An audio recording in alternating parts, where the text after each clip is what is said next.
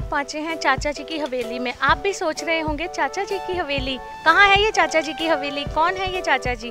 इसके बारे में हम आपको कुछ ही देर में बताएँगे अंदर चल के। और आप ही देखें ये चाचा जी कौन है, आप खुद ही उन्हें पहचानिए।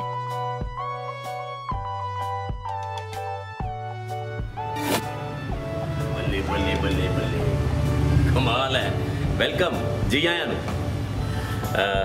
मैं। समझता कि ਕਰੋੜਾਂ ਦਰਸ਼ਕ ਇਸ ਵੇਲੇ ਦੇਖ ਰਹੇ ਹੋਣਗੇ ਦਰਸ਼ਕਾਂ ਦੇ ਮੈਂ ਤੇ ਭਤੀਜੇ ਭਤੀਜੇ ਹੀ ਕਹਾਂਗਾ ਨਾ ਕਿਉਂਕਿ ਚਾਚੇ ਦੇ ਨਾਲ ਸਾਰੇ ਅਹ ਰਿਸ਼ਤਾ ਬਹੁਤ ਗੂੜਾ ਰੱਖਦੇ ਆ and am proud of it ਜਿਉਂਦੇ ਵਸਦੇ ਰਹੋ ਹਮੇਸ਼ਾ ਤਰੱਕੀਆਂ ਮਾਣੋ ਔਰ ਕਾਮਯਾਬੀਆਂ ਦੇ ਸਿਖਰਾਂ ਤੇ ਰਹੋ कहते हैं दूसरों को हंसाना सबसे मुश्किल काम होता है और यह हुनर किसी किसी के पास होता है आज खास मुलाकात प्रोग्राम में हम आपको पंजाब की एक ऐसी शख्सियत से मिलवाने जा रहे हैं जिनको देखकर हम सबका हीमोग्लोबिन तो डेफिनेटली बढ़ ही जाता है। तो आइए हम आपको मिलवाते हैं बलविंदर सिंह बिक्की जी से, जिन्हें हम चाचा रौनकी राम के नाम से भी जानते हैं। तो आप सब अब पहचान ही गए होंगे कि हम किसके बारे में बात कर रहे हैं। चलिए आपको मिलवाते हैं चाचा जी से और उनसे करते हैं कुछ खट्टी मीठी बातें। Hello sir welcome to Times Punjab TV बहुत बहुत शुक्रिया। आप तशरीफ़ लेके आए हैं और आपका चैनल काफ़ी बढ़िया काम कर रहा है। मुझे लगता है कि फ्यूचर में भी आप बढ़ चढ़ कर लोगों का मनोरंजन करेंगे और रोमांचकारी प्रोग्राम तैयार करते रहेंगे। आपने कहा कि मेरे से बात करने के बाद लोगों का होमोग्लोबिन बढ़ जाता है। आप तो ऐसे सोच रही हैं जैसे मैंने लोगों का खून पिया है, जब मैं बात करता हूँ उसके अगले के अंदर ट्रांसफ़र हो जाता है। ऐसा नहीं है। ये बात वैसे आपकी भी ठीक है कि हंसना सबसे बड़ी खुराक है। मेरे ख्याल में आप थोड़ा खा के ज़्यादा हंसेंगे तो ज़्यादा बढ़िया सेहत आपकी होगी। और कॉमेडियन जो हैं, जो ख़ास तौर पे, क्योंकि मैं कॉमेडियन बन गया क्रिकेटर था। Cricket was my first love मैं स्कूल टाइम में भी हम क्रिकेट खेलते थे और मैं एक अच्छा ऑफ़ स्पिनर था। इसी तरह ओपनिंग बैट्समैन था। काफ़ी बढ़िया बैटिंग करता था मैं। बिल्कुल जहाँ हम बैठे हैं इससे कम से कम या ज़्यादा से ज़्यादा कहूँ, सौ या दो सौ गज़ की दूरी पे मेरा स्कूल है, जहाँ मैंने अपना बचपन शुरू किया और पढ़ाई शुरू की और खेल शुरू की। सर, जैसे हमने पहले भी ये बात टॉपिक हमने लिया कि दूसरों को हंसाना सबसे एक मुश्किल काम माना जाता है। तो आपके अंदर ये टैलेंट इतना बड़ा टैलेंट कब और कैसे डेवलप हुआ मेरी जो कॉमेडी है मेरा सफ़र जो शुरू हुआ मैं तो आपको बता रहा था क्रिकेटर था जब मैं कॉलेज में गया तो मैं अ, अपने principal principal Shri O P Mohan साहब रेवन प्रिंसिपल हमारे पूजनीय अ, उनकी मैं कॉपी करता था उनकी ममिक्री करता था तो वो मुल्तान से थे और ਉਹਨਾਂ ਦੀ ਜ਼ੁਬਾਨ ਮੁਲਤਾਨੀ ਸੀ ਡਾਇਲੈਕਟ ਉੱਥੋਂ ਦਾ ਸੀ ਤੇ ਸਾਰੇ ਮੈਨੂੰ ਕਹਿਣ ਲੱਗ ਪਏ ਵੀ ਇਹ ਐਮਏ ਬਲੌਗ ਸਾਡੇ ਬਣਿਆ ਹੈ तो जे एस वेले प्रिंसिपल मोहन अगर यहाँ मुखातिब हों तो कैसे होंगे? सारे बच्चे खड़े हैं, मेरे साथ वाले, मैंने बी कॉम करी है तो मेरे क्लास फेलोज आसपास खड़े हैं, पचास साठ। तो मैं उनको प्रिंसिपल की आवाज़ से मतलब एड्रेस कर रहा हूँ। बीबा तुस जान दौ दुआबा कॉलेज एक बॉयज़ कॉलेज है। इतने मुंडे पढ़ते ने। थानू तकलीफ़ है, डेढ़ किलोमीटर दूर छेड़ाखानी वास्ते कन्या महाविद्यालय जामना पैदा ਹੁਣ ਤੁਸੀਂ ਇੱਥੇ ਹੀ ਛੇੜੋਗੇ, ਇੱਥੇ ਹੀ ਜੁੱਤੀਆਂ ਖਾ ਲਓਗੇ। ਸੋ ਮੁੰਡੇ ਬੜੇ ਹੱਸ ਰਹੇ ਨੇ ਕਿਉਂਕਿ ਐਮਏ ਬਲੌਗ ਬਣ ਗਿਆ ਉਹਦੇ 'ਚ ਹੁਣ ਮੁੰਡੇ ਕੁੜੀਆਂ ਨੇ ਇਕੱਠੇ ਪੜ੍ਹਨਾ ਹੈ ਤੇ ਡਿਸਪਲਿਨ ਵੀ ਚਾਹੀਦਾ ਹੈ। ਮੇਰੇ ਵਿਅੰਗ 'ਚ ਇਹ ਹੁੰਦਾ ਸੀ ਕਿ ਹਾਸਾ ਤੇ ਪੈਦਾ ਹੋਵੇ, ਪਰ ਜਿਹੜੀ ਘਰੇਲੂ ਸੋਚ ਤੋਂ ਬਾਹਰ ਨਹੀਂ ਹਾਸਾ ਹੋਣਾ ਚਾਹੀਦਾ ਤਾਂ ਕਿ ਪਰਿਵਾਰ ਬੈਠ ਕੇ ਜਿਹਨੂੰ ਸੁਣ ਸਕੇ, ਉਹ ਗੱਲਾਂ ਹੋਣ। ਉਸ ਤੋਂ ਬਾਅਦ ਮੈਂ ਕਿਹਾ, ਬੀਬਾ, ਇਸ ਬਲਾਕ ਦੇ ਅੱਗੇ ਕੈਕਟਸ ਦੇ ਬੂਟੇ ਲਾਏ ਗਏ ਨੇ ਔਰ ਕੰਡਿਆਲੀ ਤਾਰ ਲੱਗੀ ਹੈ। ਹੁਣ ਤੁਸੀਂ ਛੇੜਾਖਾਨੀ ਕਰਕੇ ਭਜੋਗੇ ਕੁੜੀ ਫਸੇ ਨਾ ਫਸੇ ਇਹਨਾਂ ਝਾੜੀਆਂ 'ਚ ਤੁਸੀਂ ਫਸੋਗੇ ਇਹਨਾਂ ਕੰਡਿਆਲੀ ਤਾਰਾਂ 'ਚ ਫਸੋਗੇ ਜੁੱਤੀਆਂ ਫੇਰ ਖਾ ਲਓਗੇ। ਇੱਥੇ ਅ, ਤੁਸਾਂ ਪੜ੍ਹਨਾ ਹੈ ਔਰ ਤਹਿਜ਼ੀਬ ਦੇ ਨਾਲ ਪੜ੍ਹਨਾ ਹੈ। ਸੋ ਮੇਰਾ ਵਿਅੰਗ ਇਸ ਤਰ੍ਹਾਂ ਦਾ ਹੁੰਦਾ ਸੀ। ਉੱਥੋਂ ਮੈਂ ਪ੍ਰਿੰਸੀਪਲ ਸਾਹਿਬ ਦੀ ਨਕਲ ਕਰਦਾ। ਮੈਨੂੰ ਨਹੀਂ ਸੀ ਪਤਾ ਉਹ ਜਦੋਂ ਬੱਚੇ ਦੇਖਦੇ ਸੀ ਪਿੱਛੇ ਮੇਰੇ ਸ਼ੋਲਡਰ ਦੇ ਉੱਤੋਂ ਮੈਂ ਕਹਾਂ ਦੇਖਦੇ ਕਿੱਥੇ ਹੈ? ਜਦੋਂ ਮੇਰੀ ਗੱਲ ਸੁਣਦੇ ਆ ਐਦਾਂ 10-15 ਗੱਲਾਂ ਪੰਚਿਸ ਹੋਏ ਤੇ ਜਦੋਂ ਮੈਂ ਪਿੱਛੇ ਮੁੜ ਕੇ ਦੇਖਿਆ ਪ੍ਰਿੰਸੀਪਲ ਮੋਹਨ ਸਾਹਿਬ ਖੜੇ ਸੀ। ਉਹਨਾਂ ਨੇ ਮੈਨੂੰ ਤੌਣ ਤੋਂ ਫੜ ਲਿਆ, ਕਹਿੰਦੇ boy don't be afraid of me you are my tape recorder from today onwards you come to my office for half an hour ਮੈਨੂੰ ਦੱਸਣਾ ਮੈਂ ਕਿੱਥੇ ਕਿੱਥੇ ਕੀ ਕੀ ਭਾਸ਼ਣ ਦਿੱਤੇ ਨੇ. ਸੋ ਇਦਾਂ ਦੇ ਪ੍ਰਿੰਸੀਪਲ ਇਦਾਂ ਦੇ ਆਈਡਲ ਸਾਡੇ ਪ੍ਰਿੰਸੀਪਲ ਸਾਹਿਬ ਸੀ ਕਿ ਉਹਨਾਂ ਨੇ ਮੈਨੂੰ ਦਬਕਾ ਮਾਰਨ ਦੀ ਬਜਾਏ ਮੇਰੀ ਕਲਾ ਨੂੰ ਸਵਾਰਨ ਵਾਸਤੇ ਪਿਆਰ ਦਿੱਤਾ ਔਰ ਉਹ ਦਿਨ ਸੀ that was the turning point of my life ਮੈਂ ਕਾਮੇਡੀ ਵੱਲ ਆ ਗਿਆ। ਮੈਨੂੰ ਪਤਾ ਲੱਗਾ ਕਿ ਕਾਮੇਡੀ ਜਿਹੜੀ ਹੈ ਇਹ ਜੀਵਨ ਹੈ ਲੋਕਾਂ ਲਈ ਵੀ ਮੇਰੇ ਲਈ ਵੀ ਲੋਕਾਂ ਦਾ ਵੀ ਵਿਕਾਸ ਇਸ ਨਾਲ ਨਿਸ਼ਚਿਤ ਹੈ ਔਰ ਮੇਰਾ ਵੀ that is the starting point I think sir आपने स्टार्टिंग ही इतनी अच्छी की है तो हमें तो बहुत मज़ा आने वाला है आपसे बातें करके अ, सर हमने जैसे सुना है आप दूरदर्शन चैनल में भी काम कर चुके हैं और वहाँ पे भी आप काफ़ी हंसी मजाक के प्रोग्राम्स देते थे स्किट्स देते थे तो वो एक्सपीरियंस आपका कैसा रहा रेडियो में अ, मैं जब देहाती प्रोग्राम करता था तो जब वहाँ पे मेरे उस्ताद पंडित हेमरा शर्मा जी थे। आ, उनकी बदौलत वो पाइया जी के नाम से बहुत पॉपुलर थे। ये कई लोग कहते हैं कि आपने कॉमेडी शुरू करी इसमें कोई शक नहीं कि पहले दो अर्थों वाली ड्यूल मीनिंग वाली कॉमेडी बहुत चलती रही लेकिन मैंने इस चीज़ को काफ़ी हद तक आ, मैं समझता हूँ कि लोग भी इस बात को हमेशा सराहते हैं। वो समझ देने कि मैं परिवारिक कॉमेडी हमेशा की है। ਤੇ ਪਹਿਲਾਂ ਜੋ- ਜੋ ਚੱਲਦਾ ਸੀ ਪਰ ਮੇਰੇ ਉਸਤਾਦ ਜੀ ਮੇਰੇ ਤੋਂ ਵੀ ਬੈਟਰ ਕਰਦੇ ਸਨ ਪਾਈਆ ਜੀ ਨੂੰ ਦੁਨੀਆ ਸਾਰੀ ਜਾਣਦੀ, ਠੰਡੂ ਰਾਮ ਜੀ ਨੂੰ ਸਾਰੇ ਜਾਣਦੇ ਨੇ। ਇਸੇ ਤਰ੍ਹਾਂ ਖੁਰਾਨਾ ਸਾਹਿਬ ਜਾਂ ਮਾਸਟਰ ਜੀ, ਹੈ ਨਾ? ਅਸੀਂ ਦਿਹਾਤੀ ਪ੍ਰੋਗਰਾਮ ਜਦੋਂ ਕਰਦੇ ਸੀ, ਕਮਾਲ ਹੀ ਹੁੰਦਾ ਸੀ। ਔਰ ਕਈ ਵਾਰੀ ਜਦੋਂ ਮੈਨੂੰ ਯਾਦ ਹੈ ਕਿ ਮਾਸਟਰ ਜੀ ਜਦੋਂ ਦਿਹਾਤੀ ਪ੍ਰੋਗਰਾਮ ਕਰ ਰਹੇ ਹਾਂ, ਤੇ ਉਹ ਕਹਿੰਦੇ, ਭਾਈਆ ਜੀ ਵੀ ਅੱਜ ਰੌਣਕੀ ਰਾਮ ਨੂੰ ਤੁਸੀਂ ਦੇਖਦੇ ਹੋ ਵੀ ਸਾਡਾ ਜ਼ਮੀਂਦਾਰ ਭਰਾ ਆ ਉਹ ਦਫ਼ਾਕਾਰ ਇਹਨੂੰ ਜ਼ਮੀਂਦਾਰ ਦੱਸਣ ਡਿਆ। ਇਹਨੂੰ ਤਾਂ ਮੈਂ ਸਟੇਸ਼ਨ ਤੋਂ ਜਲੰਧਰੋਂ ਕੋਲੇ ਚੁੱਕਦਿਆਂ ਫੜਿਆ ਸੀ, ਉੱਥੋਂ ਚੱਕ ਕੇ ਲਿਆਇਆ। ਇਹ ਕਾਹਦਾ ਜ਼ਮੀਂਦਾਰ? ਇੱਕ ਦੂਜੇ ਨੂੰ ਵਿਅੰਗ ਕਰਨਾ, ਇੱਕ ਦੂਜੇ ਨੂੰ ਥੱਲੇ ਲਾਣਾ ਮੈਂ ਕਿਹਾ ਭਾਈਆ ਤੂੰ ਕਿਹਾ ਵੀ ਮੈਂ ਸਟੇਸ਼ਨ ਇਹਨੂੰ ਲੈਣਾ ਦੇ ਉੱਤੋਂ ਕੋਲੇ ਚੁੱਕਦਿਆਂ ਇਹਨੂੰ ਉੱਥੋਂ ਲੈ ਕੇ ਆਇਆ। ਉਹ ਤੇ ਮੇਰਾ ਅਭਿਆਸ ਸੀ। ਚੁਗਨੇ ਤਾਂ ਮੈਂ ਤੇਰੇ ਫੋਲੇ ਆ। ਸੋ ਦਿਸ ਵੇ ਕਿ ਇਹ ਕਦੀ ਨਹੀਂ ਸੀ ਹੁੰਦਾ ਕਿ ਮੈਨੂੰ ਯਾਰ ਇਹਨੇ ਬੜਾ ਮਾੜਾ ਕਹਿਤਾ। ਤੇ ਆਪਾਂ ਸਾਨੂੰ ਗਾਲੀ ਨਾ ਕੋਈ ਆਵੇ। ਇਹ ਈਸ਼ਵਰ ਵੱਲੋਂ ਹੁੰਦਾ ਸੀ ਕਿ ਵਿਅੰਗ ਦੇ ਵਿੱਚ ਬਦਲ ਜਾਣਾ ਉਸ ਗੱਲ ਨੂੰ ਔਰ ਮਜ਼ਾ ਦੇ ਵਿੱਚ ਜਦੋਂ ਗੱਲ ਬਦਲ ਜਾਂਦੀ ਹੈ, ਗੁੱਸੇ ਗਿਲੇ ਖਤਮ ਹੋ ਜਾਂਦੇ ਨੇ ਤੇ ਆਪਣੀ ਟੈਨਸ਼ਨ ਵੀ ਦੂਰ ਹੋ ਜਾਂਦੀ ਹੈ। ਮੈਨੂੰ ਚੇਤੇ ਆ, ਉਹ ਮੰਡੀਆਂ ਦੇ ਪਾ ਚੱਲਦੇ ਪਏ ਸੀ ਤੇ ਉਹ ਭਾਈਆ ਜੀ ਕਹਿੰਦੇ ਆਹ ਰੌਣਕੀ ਰਾਮਾ, ਭਈ ਆਂਡੇ ਮੈਨੂੰ ਬਹੁਤ ਚੰਗੇ ਲੱਗਦੇ ਆ। ਬੜੇ ਬੋਲੇ ਵੀ ਹੁੰਦੇ, ਮੇਰੇ ਦੰਦ ਵੀ ਹੈ ਨਹੀਂ। ਭਈ ਸਵਾਦ ਤਾਂ ਬਹੁਤ ਪਰ ਭਾਅ ਬਹੁਤ ਜ਼ਿਆਦਾ ਹੋ ਗਿਆ ਆਂਡਿਆਂ ਦਾ। ਮੈਂ ਕਿਹਾ, ਭਾਈਆ, ਤੂੰ ਐਵੇਂ ਰੋਣ ਡਿਆ ਭਾਅ ਨੂੰ ਨਾ ਸਹੀ, ਅੱਗੋਂ ਮਾਸਟਰ ਜੀ ਨੇ ਤੂੜੀ ਦਾ ਭਾਅ ਪੜਨਾ ਤੂੰ ਪੂਰੀ ਟਰਾਲੀ ਦੀ ਟਰਾਲੀ ਫੱਕ ਲਈ, ਮੈਂ ਪੈਸੇ ਦੇ ਦੂੰ ਸੋ ਗੱਲ ਸਿਰਫ ਇਹ ਹੈ ਕਿ ਹਰ ਗੱਲ 'ਚੋਂ ਮਜ਼ਾਕ ਲੱਭਣਾ, ਮਜ਼ਾ ਅੱਗੇ ਆਉਣਾ, ਇਹ ਸਾਡੀ ਜ਼ਿੰਦਗੀ ਦਾ ਹਮੇਸ਼ਾ ਏਮ ਰਿਹਾ ਚਾਹੇ ਅਸੀਂ ਕਿੱਡੇ ਵੀ ਸੀਰੀਅਸ ਮਾਹੌਲ 'ਚ ਕਿਉਂ ਨਾ ਬੈਠੇ ਹੋਈਏ, ਜ਼ਰੂਰੀ ਗੱਲ ਹੈ, ਜਦੋਂ ਅਸੀਂ ਕੋਈ ਸ਼ਗੂਫਾ ਇਹੋ ਜਿਹਾ ਛੱਡਦੇ ਹਾਂ, ਕੋਈ ਕਲੋਲ ਛੱਡਦੇ ਹਾਂ, ਕੋਈ ਜੁਗਤ ਛੱਡਦੇ ਹਾਂ, ਮਾਹੌਲ ਬਦਲ ਜਾਂਦੇ ਨੇ ਔਰ ਖੁਸ਼ੀਆਂ ਜ਼ਿਆਦਾ ਵੱਧ ਜਾਂਦੀਆਂ ਨੇ जैसे you are famous by name of Chacha Raunaki Ram सबको पता है पूरा इंडिया जानता है तो who gave you this name किसने आपको रिकमेंड किया कि जिसके नाम में ही इतना वर्ड है रौनक और आपका नाम भी उसी पे ही फेमस हुआ है एज अ करेक्टर चाचा रौनकी राम जी तो ये नाम आपको किसने दिया जैसे कुग्गी मेरा शागिर्द है उसका कुग्गी नाम मैंने रौनक मेला में रखा था इसी तरह मेरे उस्ताद जी ने, पंडित हेमराज शर्मा जी ने, जो पाइया जी बनते थे, मैंने बताया, उन्होंने देहाती के माहौल के मुताबिक बिकॉज़ वहाँ ऐसे करेक्टर थे, ठंडू राम जी थे, या फौजा सिंह जी, पाइया जी, मास्टर जी, चौधरी साहब तो जो इंटीरियर में जिस तरह के नाम लोग ज़्यादा सुनते आ रहे हैं, या बुज़ुर्गों के नाम रखे जाते थे द सेम वे मेरा उन्होंने नाम रौनकी राम रखा क्योंकि उनको लग रहा था कि ये रौनक लगाएगा। है जी? और मुझे याद है, जो मैंने पहला प्रोग्राम रेडियो में किया ना, उसमें चिट्ठियाँ आई हुई थी। तो मैंने पहली चिट्ठी पढ़ी तो हमारे बॉस आर के वोरा होते थे मतलब रेडियो के टाइम पे, आजकल वो रिटायर्ड लाइफ में हैं। चिट्ठी मैंने पढ़ी कि पाइया जी ਭਈ ਤੇ ਨਾਲ ਮਾਸਟਰ ਜੀ ਬੈਠੇ ਹੁੰਦੇ ਸੀ ਕਿ ਬਾਊ ਜੀ ਅੱਜ ਤੁਸੀਂ ਆਏ ਹੋ ਖੇਤੀ ਸੰਬੰਧੀ ਪੁੱਛਾਂ ਦੇ ਤੁਸੀਂ ਜਵਾਬ ਦੇਣੇ ਆ। ਇਹ ਚਿੱਠੀ ਕਹਿੰਦੇ ਆ ਭਈ ਸਾਡੇ ਮੱਝ ਦੇ ਥਣਾ ਤੇ ਜ਼ਖਮ ਆ ਚੋਣ ਲੱਗਿਆ ਤਕਲੀਫ ਬਹੁਤ ਹੁੰਦੀ ਆ ਇਲਾਜ ਦੱਸੋ।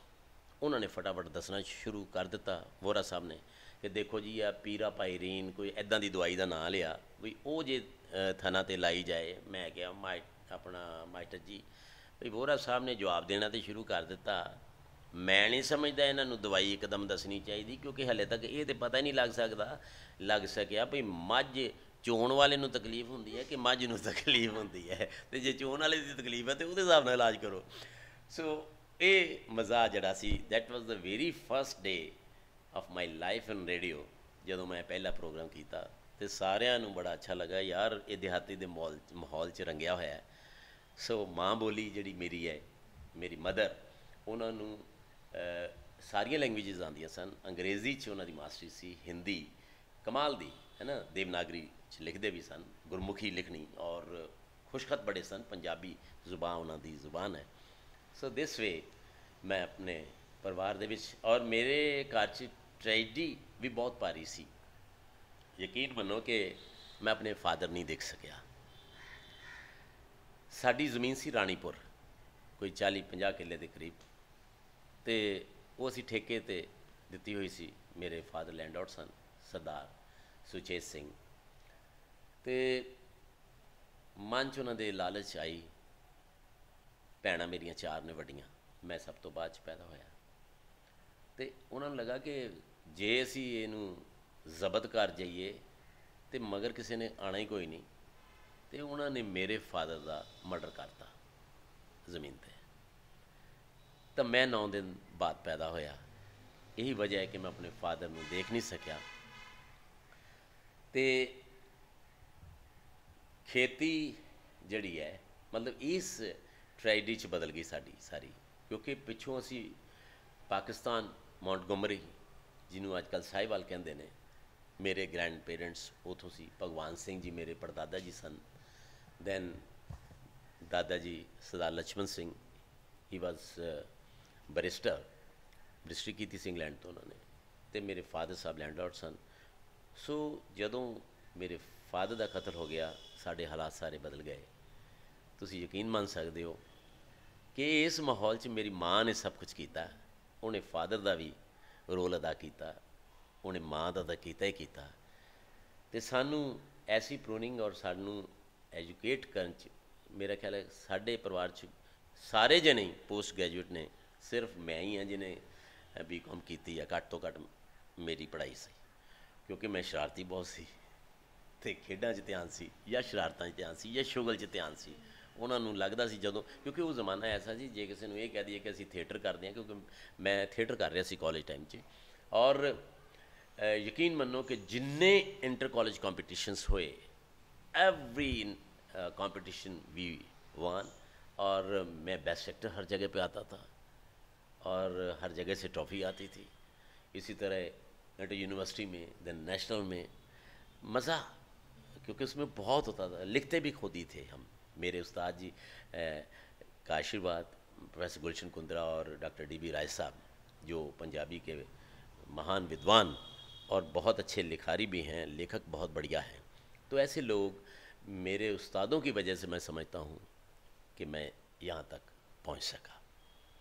सर आप अपने घर में कितना एंटरटेनमेंट करते हैं अपनी फैमिली वालों का?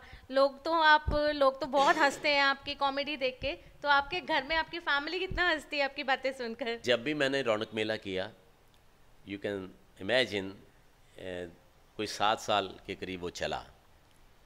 हर प्रोग्राम में छः सात के करीब स्क्रिप्ट होती थी वो सारी मैं खुद लिखता था। और पार्टिसिपेशन चाचा रौनकी राम के तौर पे होती थी उसमें। जबकि सिंगर टॉप क्लास सारे आते थे। गुरदास जी, हंसराज, हंस जी, सदूल सिकंदर जी देन बिंद्रखिया जी जसविंदर नरूला, ये सुखविंदर जो आज यूनि मतलब यूनिवर्सल लेवल पे जिस, जिसकी मकबूलियत है और इतना बड़ा गायक है फ़िल्म इंडस्ट्री में भी छाया हुआ है। ये सारे उसी प्रोग्राम में शामिल हुआ करते थे। तो मैं समझता हूँ कि उसमें जो मैं लिखता था, पहले मैं टेलीकास्ट होने से पहले या रिकॉर्ड करने से पहले, उसे मैं अपनी बहनों को सुनाया करता था। आज जो बकवास कोई भी कर सकता है, इस पे पाबंदी होनी चाहिए। उनको कहें कि अपने माँ बाप को सुनाएँ, जो भी आप रिकॉर्ड, चाहे गीत करते हैं, चाहे कॉमेडी करते हैं, अपनी बहनों को सुना करके उसके बाद उसे रिकॉर्ड करें। वो अगर मान्यता दे दें अप्रूव कर दें देन नेवर माइंड पता चल जाएगा कि सारा परिवार ही कैसा है। You have done mimicries of so many politicians तो कभी किसी ने क्या इस बात पे ऑब्जेक्शन नहीं उठाया कि पॉलिटिशियंस की आप मिमिक्रीज करते हैं? और या किसी ने आपको मतलब कुछ भी जैसे क्या किसी ने आपको मोटिवेट भी किया कि नहीं आप बहुत अच्छा करते हैं और इस चीज़ को आगे कंटिन्यू रखिए? देखिए मुझे याद है कि हर प्रोग्राम में लोगों ने सराहा है, चाहे वो बादल साहब सीएम रहे, चाहे कैप्टन साहब हैं इस समय। जिसके आगे चाहे और कोई पॉलिटिशियन यहाँ पंजाब के हैं या देश विदेश से जेतली साहब कमाल के बंदे हैं। मुझे ये याद है कि जब डीडी पंजाबी का उद्घाटन हुआ, मैं और कुगी उसको, उनके आदेश पे एंकर भी कर रहे थे। That programme went for about six hours together live show था वो। तो उन दिनों में क्लिंटन साहब हमारे देश का दौरा करके दो तीन महीने पहले ही वापस गए थे। तो कुगी कहता कहता, चाचा जी, जो सरकार बीजेपी की है, इसने कमाल कर दिया है और देश के विदेशों के साथ रिश्ते बहुत मज़बूत हो रहे हैं। अब देखिए ना उनके प्रेसिडेंट आए यहाँ पे क्लिंटन साहब, उनके साथ अटल बिहारी वाजपेयी साहब, मैं उनको सैल्यूट करता हूँ, ऐसे देशभक्त, देश को और भी मिले, ज़्यादा मिले, ताकि देश समर जाए। तो प्रधानमंत्री जी ने उनके साथ हाथ पकड़ा हुआ था और हाथ मिलाते जा रहे थे, मिलाते जा रहे थे काफ़ी देर तक ऐसे होता रहा कहते यार मेरी बीवी ने भी मुझे कहा कि क्या बात है इतना प्यार कैसे पड़ गया एकदम कि हाथ ही नहीं छोड़ रहे थे और पास में कुछ बातें कर रहे थे जो सुनाई तो नहीं दे रही थी लेकिन एक्शंस नज़र आ रहे थे एक्सप्रेशन नज़र आ रहे थे मैं क्या काका मैं उन्हें एक्सप्रेशंस तू पढ़िया ਉਹਦੇ ਚੋਂ ਹੱਥ ਮਿਲਾ ਮਿਲਾ ਕੇ ਨਾ ਜਿੱਦਾਂ ਕਲਿੰਟਨ ਨੂੰ ਪੁੱਛਦੇ ਹੋਣ ਯਾਰ ਕਲਿੰਟਨ ਸਾਡਾ ਤੇ ਵਿਆਹ ਵੀ ਨਹੀਂ ਹੋਇਆ तू दूजी किमें टकाई हो यानी लविंसकी का चक्कर उन दिनों में बहुत था और मुझे याद है माहौल बहुत हंसा और लाख के करीब दुनिया थी तो लोगों ने जिंदाबाद के नारे भी शुरू कर दिए इतना प्यार दिया मैं समझता हूँ व्यंग जो है ये सभी को पॉजिटिव सोच के साथ लेना चाहिए ये हमेशा देश के भले के लिए होता है कोई भी करे है ना ये भी मैं जानता हूँ कि व्यंग की लाइन बहुत बारीक होती है जैसे मैं अभी आपको ये बात अभी चलते चलते एक दिन कुगी मुझे पूछ रहा था कहता चाचा जी ਤੁਹਾਨੂੰ ਕੀ ਲੱਗਦਾ ਹੈ ਭਈ ਜਿਹੜਾ ਮੋਦੀ ਸਾਹਿਬ ਨੇ ਨੋਟਬੰਦੀ ਕੀਤੀ ਹੈ ਇਹਦੇ ਨਾਲ ਕਰਪਸ਼ਨ ਦੂਰ ਹੋ ਜਾਏਗੀ ਮੈਂ ਕਿਹਾ ਕਾਕਾ ਗੱਲ ਇਹ ਆ ਭਈ ਉਹਨਾਂ ਦੇ ਦਿਲ 'ਚ ਦੇਸ਼ ਲਈ ਬਹੁਤ ਪਿਆਰ ਹੈ ਮਿਹਨਤ ਵੀ 4 ਸਾਲ ਤੋਂ ਲਗਾਤਾਰ ਕਰ ਰਹੇ ਆ ਅੱਛੀ ਸੋਚ ਹੈ ਅੱਛੀ ਗੱਲ ਹੈ ਪਰ ਮੈਂ ਆਨਰੇਬਲ ਪ੍ਰਾਈਮ ਮਿਨਿਸਟਰ ਦੇ ਅੱਗੇ ਹੱਥ ਜੋੜ ਕੇ ਕਹਿਣਾ ਕਿ ਇਹ ਮੁਲਕ ਇਹਨੂੰ ਮੈਂ ਬਹੁਤ ਚੰਗੀ ਤਰ੍ਹਾਂ ਹੀ ਜਾਣਦਾ ਇੱਥੇ ਹੀ ਜੰਮਿਆ ਇਸੇ ਮਿੱਟੀ ਦਾ ਹੀ ਆ ਮੈਂ ਇਹ ਨੋਟਬੰਦੀ ਨਾਲ ਕਰਪਸ਼ਨ ਜਾਣ ਵਾਲੀ ਨਹੀਂ ਜੇ ਤੁਸੀਂ ਨੋਟਬੰਦੀ ਥਾਂ ਤੇ ਨਸਬੰਦੀ ਕਰ ਦਿਓ ਨਾ ਜਿੰਨੇ ਕਰਪਟ ਲੀਡਰ ਤੇ ਅਫਸਰ ਆ ਅਗਲੀਆਂ ਪੀੜ੍ਹੀਆਂ ਇਮਾਨਦਾਰ ਹੋ ਜਾਣਗੀਆਂ ਸਾਰਾ ਦੇਸ਼ ਸਮਝ ਸਕਦਾ ਸੋ ਕਰਪਟ ਲੀਡਰਾਂ ਤੇ ਅਫਸਰਾਂ ਦੀ ਨਸਬੰਦੀ ਦੀ ਲੋੜ ਹੈ ਮੇਰਾ ਇਸ਼ਾਰਾ ਸਾਰੇ ਸਮਝਦੇ ਨੇ ਔਰ ਇਹ ਦੇਸ਼ ਨਾਲੋਂ ਪਿਆਰੀ ਚੀਜ਼ ਵੀ ਕੋਈ ਹੋ ਸਕਦੀ ਹੈ ਨੋਟ ਕੀ ਚੀਜ਼ ਹੁੰਦੇ ਨੇ ਯਾਰ ਦੇਸ਼ ਪਿਆਰ ਦੇ ਉੱਤੇ ਪਾਬੰਦੀ ਕਦੇ ਨਹੀਂ ਹੋ ਸਕਦੀ ਪਰ ਨੋਟ ਦੇ ਉੱਤੇ ਨੋਟਬੰਦੀ ਹੋ ਸਕਦੀ ਹੈ ਇਹਦਾ ਮਤਲਬ ਇੰਪੋਰਟੈਂਟ ਤਾਂ ਫਿਰ ਦੇਸ਼ ਪਿਆਰ ਹੀ ਹੋਇਆ ਨਾ अरे छोड़ो कईयों को तो आदत ही है ना गंद बोल के उनको लगता है कि मैं समाज की सेवा कर रहा हूँ है ना गंद बोल के नहीं गंद साफ़ करके देश की सेवा कर सकते हो, वरना ये नारा देने की ज़रूरत नहीं थी। स्वच्छ भारत अभियान। तो एक जो मैं कई बार सोचता ना, जहाँ सोच, वहाँ शौचालय की बात भी मैं है किसी महफिल में बैठे थे। कहता, चाचा, तेरे को कैसे लगा? जहाँ सोच, वहाँ शौचालय मैं कहा, यार, अब तो मैंने सोचना ही बंद कर दिया है। कहते, क्यों? मुझे डर है, कहीं मैं सोचूं और एक फ्लश मेरे सिर के ऊपर आकर डिग, गिर जाए। पंजाबी में डिग जाए, हैं? तो मुझे यही डर लगा रहता है। वैसे उनकी सोच बहुत बढ़िया है। मतलब तो यह है कि जहाँ भी लगता है कि यहाँ होना चाहिए, वहाँ शौचालय तो बना ही है। ये बात अलग है कि मुझे किसी ने कहा कि यार गरीब तो फिर भी दुखी हैं। उनके लाखों आपने शौचालय खो, खोल दिए, बनवा दिए। मैं कहा, यार, वो इसलिए दुखी हैं, सोचते हैं, यार, खाने को तो रोटी है नहीं तो शौचालय देखने के लिए बनाया है। अच्छी बात है। जो काम किया है, वो भी बहुत अच्छा है। लेकिन खाने का प्रबंध भी हो, ताकि इसमें वो जा भी सके। ऐसा भी होना चाहिए ना। तो ये अकेले मोदी साहब नहीं कर पाएँगे। अगर एक बंदा करवाना चाहता है और लाखों उसको नहीं करना देंगे तो मुश्किल हो जाती है। अड़चन ना बने। जो भी प्राइम मिनिस्टर आए, टेन्योर बदलते रहते हैं राजनीतिक पार्टियाँ बदलती रहती हैं, राज्य बदलते हैं, लेकिन जो भी आ जाए, जिस समय भी किसी पार्टी का भी आए, उसका पूरा सहयोग हमें करना चाहिए, ताकि हमें तो देश के बारे में सोचना है। हाँ क्रिटिसिज्म सिर्फ़ गलत बातों का, गलत डिसीज़न का होना भी चाहिए, वो साथ साथ हो।